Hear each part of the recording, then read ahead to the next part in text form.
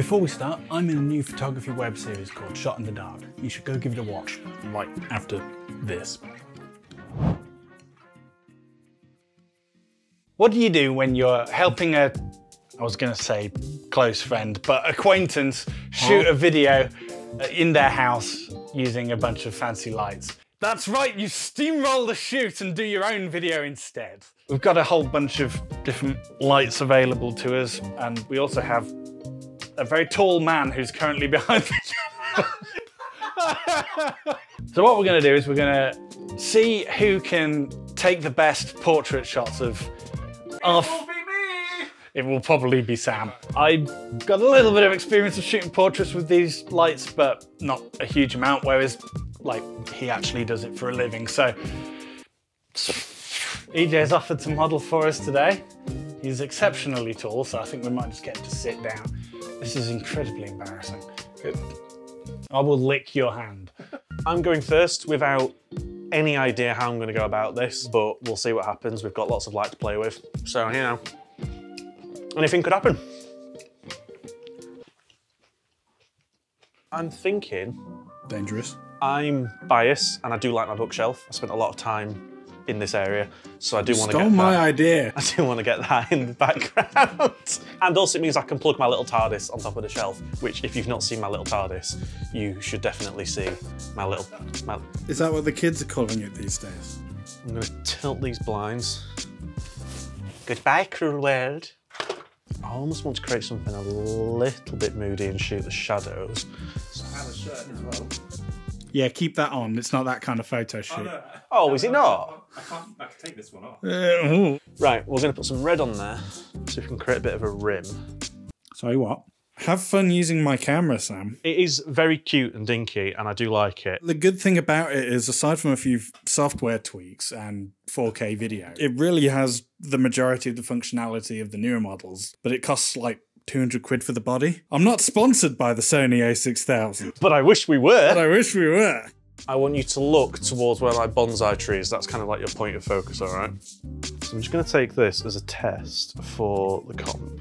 Now I like that because we're shooting. Oh, that's on best. I want to shoot into the shadows there, but it's just working out what we want to do with the light and the sort of the bouncing around the room. You've got like the red there that's bouncing off EJ's arm, which looks quite nice, but I think we need a little bit more of it. So I might bring this round.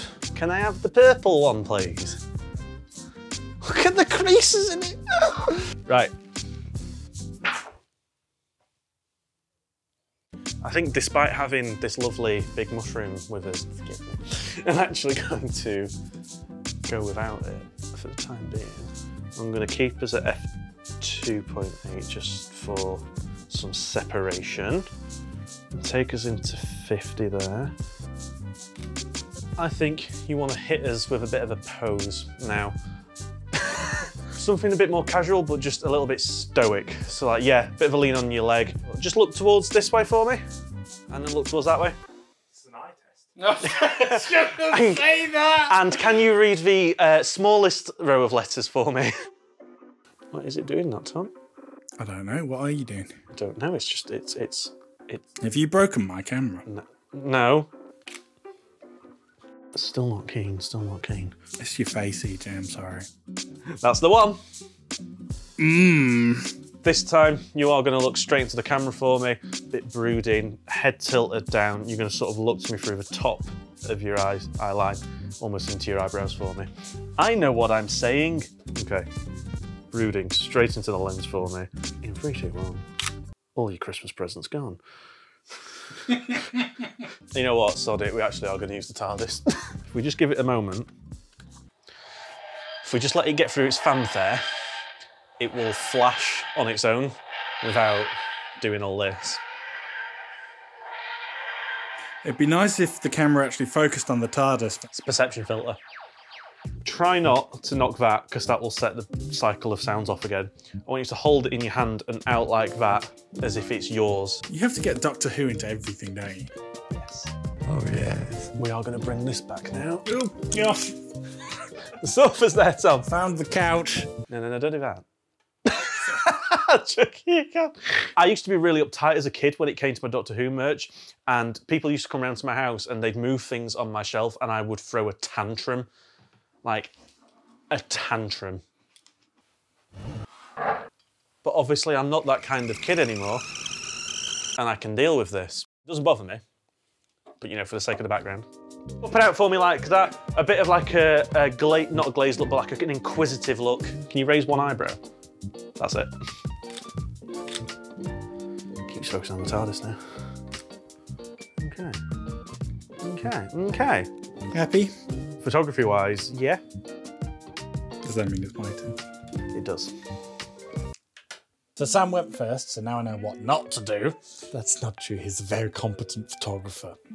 EJ, hello. I wanted to utilize the bookshelf, and then Sam went, Oh, I want to use my bookshelf. So I'm still going to do it. I'm going to do it in a slightly different way. Let's shift this chair so it's kind of directly in front of the bookshelf.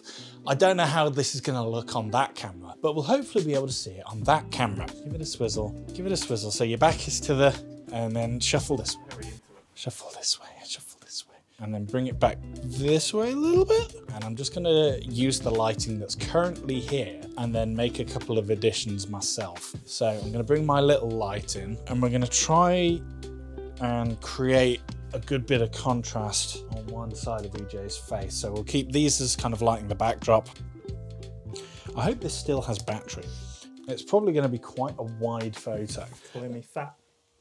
I would never. That doesn't look how I hoped it would. I'm just getting warmed up. Don't nobody panic. Kind of turn your head so it's a little more straight on, and then look kind of straight down the lens for me. Gonna try bringing this round a little more. You're in my shot, Sam. Tilt your head forward a little bit and then look up. You look like you're a bit sad.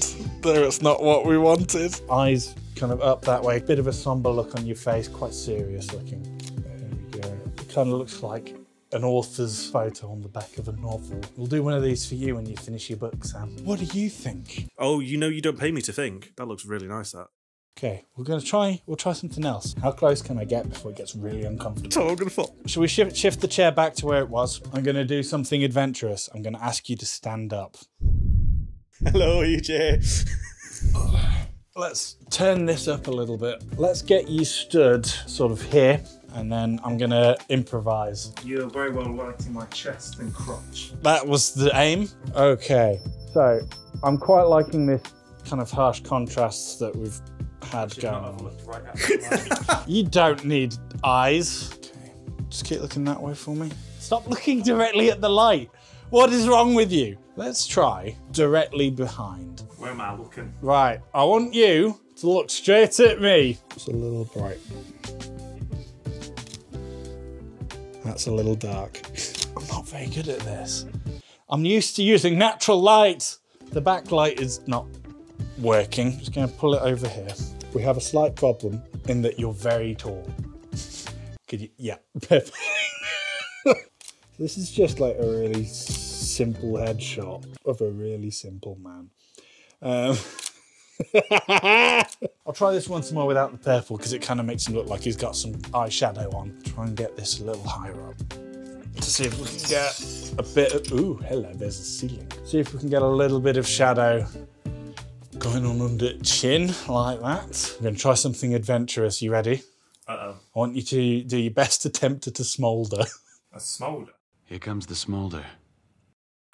How would you describe a smolder, Sam? Uh, I don't know. It sounds like something I'd go see my GP about. People smouldering. He's going to find a load of pictures of spontaneous combustion. It's like a sexy kind of hello there. Hello there. Just do a duck face. Just do go full duck face. There you go. Perfect. Beautiful. Yeah, let's go with that. Wonderful. We're done. That's it. We're solved. Can I make a suggestion? You are welcome to make a suggestion. What if he's facing the other way round? So he does a hmm. 180 and it's looking over the shoulder. We can try that. Yeah. Take a little. fling a shirt over my shoulder. It's, if you want to fling a shirt over your shoulder, you be my guest. Would you like your shirt? Sleep deprived photographers is not good. Not it's not good for the industry. Beautiful. It's a shame that we haven't kind of got a better backdrop to work with at this point. What are you saying about my living room? Nothing. It's lovely. It's now several months later, which is why I look like a homeless mop. That was just a fun little experiment in playing around with lighting with no real plan or agenda and seeing what we could come up with. Mostly though, it was just a bit of an excuse for mucking about. I think Sam got a bit more adventurous than I did, especially with the colours. I think I probably played it a little bit too safe. I think I'll probably try and revisit this soon, but with a bit more of a plan. But we had a laugh, so it's all that matters, really. If you'd like to see more nonsense like this, over on Sam's channel is the first episode of a brand new web series that we're in called Shot in the Dark, which is about venturing into the murky waters of nighttime street photography. I can also promise a lot of mucking about. Here's a little trailer of what to expect. If you want a ProMist filter, You steal a pair of your mum's tights and put it over your camera lens. I haven't done this for nearly two years. The last time I went out to do nighttime street photography was December 2022. You need film, you just need a crappy old lens that cost 30 quid off eBay. So We'll just try and get some of the trees in the left third. No one knows how this is going to turn out, but I'm optimistic all the same. Do you know what we need to find?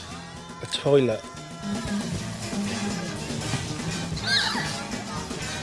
Don't put that in.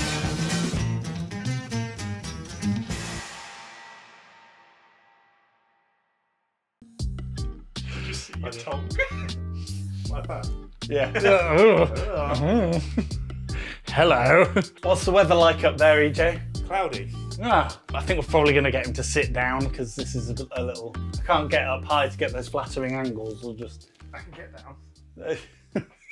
Right, go on, get off your stool.